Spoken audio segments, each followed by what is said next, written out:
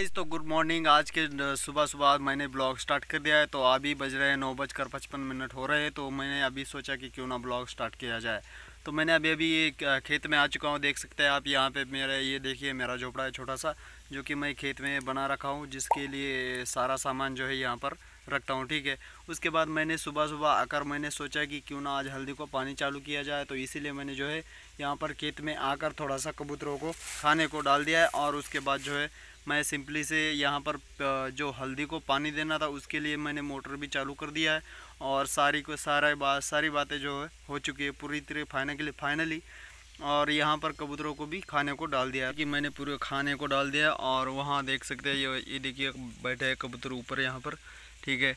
तो अभी हम जाएँगे हल्दी की तरफ़, और और मैं अभी जा रहा हूँ हल्दी की तरफ़। आपको मैं दिखा देता हूँ कि पानी कैसे चालू है हल्दी को। तो चलिए देखते हैं हल्दी को पानी कैसे चालू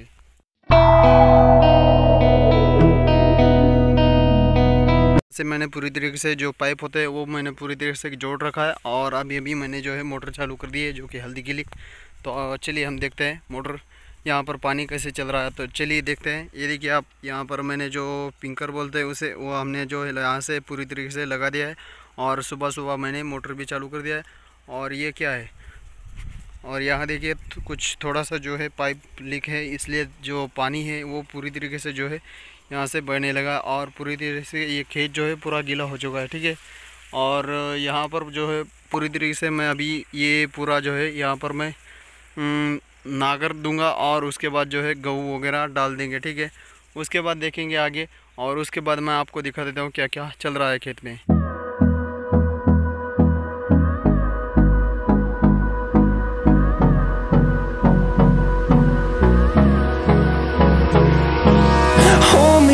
Till I get up.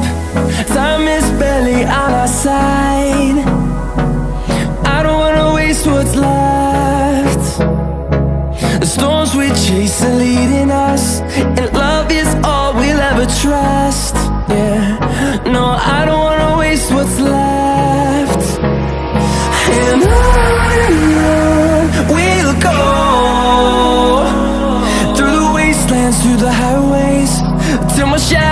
to sun rays And on and on we'll and ये है अपनी बाउडी जो कि यहाँ से मैंने मोटर चालू रखा है और वहाँ पे जो है मोटर का टाइट रखा है और ये देखिए कबूतर का पिंजरा और वहाँ सामने एक रखा हुआ है।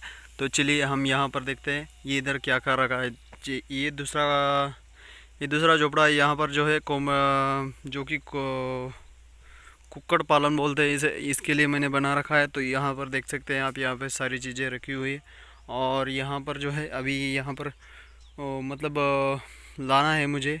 ये है तूरी जिसे तूर बोलते हैं। ये है तूर और ये यहाँ पर जो है ये पूरी तरीके से वांजी किया हुआ है।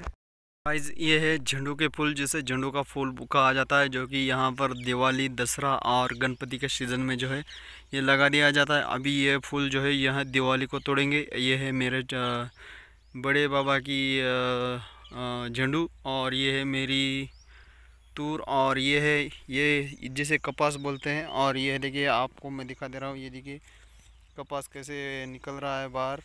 अभी जो है इसको जो है घर ले जाना पड़ेगा पूरी तरीके से निकाल कर सारा कुछ निकल चुका है बाहर से पूरा सफ़ेद सफ़ेद हो चुका है।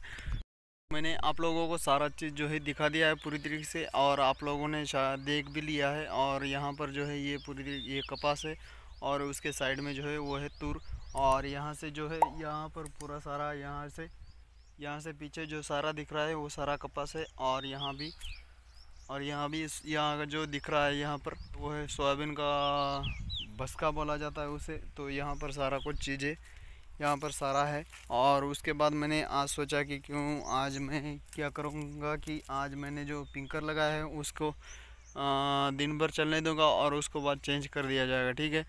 तो चलिए आज के ब्लॉग्स में इतना ही और मिलते हैं नेक्स्ट ब्लॉग्स में ऐसे कुछ नए तरीके के साथ और कहीं जाकर, दूर जाकर देखेंगे। तो चलिए आज के ब्लॉग्स में इतना ही, तब तक के लिए मिलते हैं नेक्स्ट वीडियो में। अगर हमें चैनल को सब्सक्राइब करने के साथ साथ घंटी का आइकन भी ज़रूर प्रेस कर दीजिए। तो मिलते हैं नेक्स्ट ब्लॉग में, तब तक के लिए जय हिंद।